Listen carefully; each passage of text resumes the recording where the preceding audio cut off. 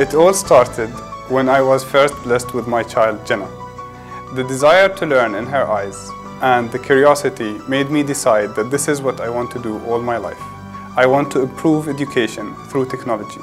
So I produced the first interactive whiteboard that supports the blended learning approach. And I moved on to produce a software that supports a distributed learning module for learning management systems.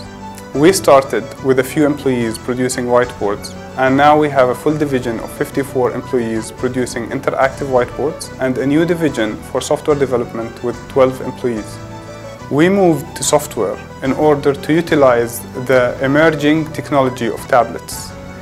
We decided to create a software that allows students to become a better lifelong learners, experienced learners, and knowledge building society.